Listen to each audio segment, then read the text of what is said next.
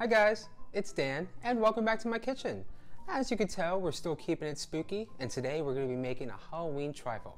It's going to have layers of chocolate cake, delicious vanilla pudding, marshmallow ghost peeps, lots of buttercream, and lots and lots of festive sprinkles. I'll be sure to post a link to the recipe right down below in the description. And don't forget, I'm still giving away 20 KitchenAid stand mixers, so be sure to stay tuned at the end of the video for more information. Now let's go ahead, preheat your oven to 350 degrees, and get started on this spooky, festive, or actually maybe spoopy, a spoopy Halloween trifle. So for this Halloween trifle, we're going to be using chocolate cake. So let's go ahead, grab our mixing bowl, and to that we're gonna go ahead and add in our butter and our sugar. And with our hand mixer on a medium speed, we're gonna whip these up and cream them together until they're both light and fluffy. And then we'll follow that by adding in our eggs and our vanilla. Now back in with that hand mixer on a medium speed and give it a good mix for one good minute.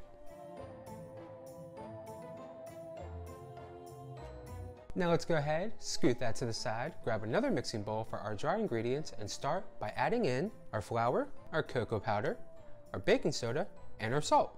And then we're just gonna give that a quick little whisk.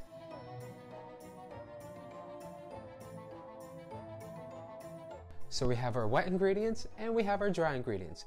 Now let's go ahead and start adding in our dry ingredients to the wet mixture, but we're gonna alternate between our water. So we're gonna start and end with the flour mixture. you just wanna slowly add the dry ingredients to the butter mixture, you know, while alternating with that water. Again, being sure to start and end with that dry ingredient mix. And keep mixing on a low speed until your cake batter is nice and creamy.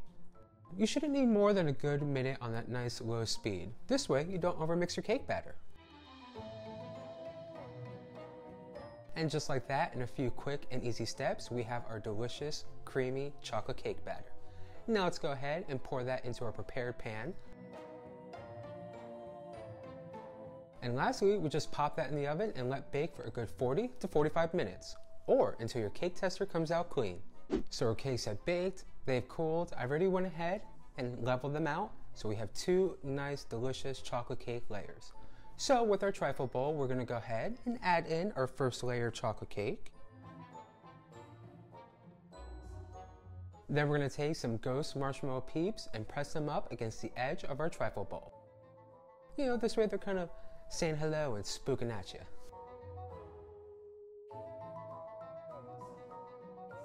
Now we're gonna take some delicious and my favorite vanilla pudding dyed a nice bright spooky orange. And we're just gonna fill our trifle bowl with that tasty, tasty, yummy vanilla pudding. Now I'm gonna be using two chocolate cake layers, so I'm gonna be using a lot of vanilla pudding here.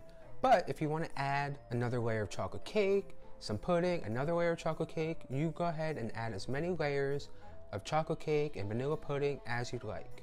But because I'm such a big fan of this vanilla pudding, I'm gonna do more vanilla pudding than cake. Then with a spatula or a wooden spoon, you want to go ahead and just smooth out your vanilla pudding on top of your trifle. This way the cake has a nice, good base to lay on top of. And once that's smoothed over, we're to go ahead and add on top our last layer of chocolate cake. Now, for my favorite part, it's time to decorate. So I have piping bags of purple and orange buttercream, really sticking with that spooky or spoopy, Halloween, festive yumminess. So let's go ahead and start with some purple buttercream and we're gonna do kind of a spiral around the edge of our trifle bowl. Just add lots of purple, yummy, fluffy buttercream. And inside our purple buttercream ring, we're gonna add more dollops of orange buttercream, all on top of our trifle.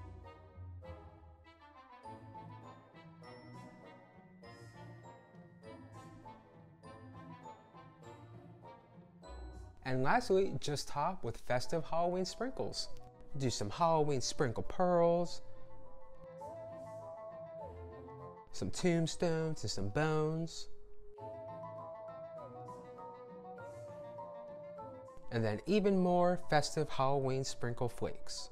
And just like that, we have our super easy, super festive, super cute and spooky, delicious Halloween trifle. Now how easy was that? Thank you guys for stopping by. I had so much fun making this Halloween trifle today. If you like baking videos, be sure to give this video a thumbs up. Helps me out, lets me know I'm baking up treats you guys all enjoy and you want more of. And if you want even more tasty recipes, I mean, Halloween's still right around the corner. Plus we have Thanksgiving and Christmas and New Year's and Val all the holidays are coming, be sure to subscribe and ring the bell to receive notifications every time I post a new video so you don't miss out on any yummy bakes I have coming up. Plus, I'm still giving away 20 KitchenAid stand mixers.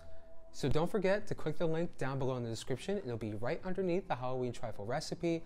It'll give you all the info you need on how to enter, all the ways to enter. I think there are you know, at least a dozen different ways to enter. And I'll be picking the first KitchenAid stand mixer winner as soon as we hit 5,000 subscribers, so be sure to stick around for that.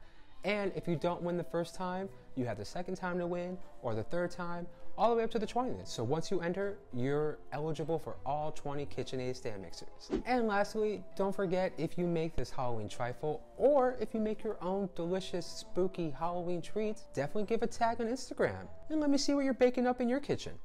Alrighty everybody, I'm gonna go ahead and get out of this Medieval King's costume because it's getting hot in the kitchen.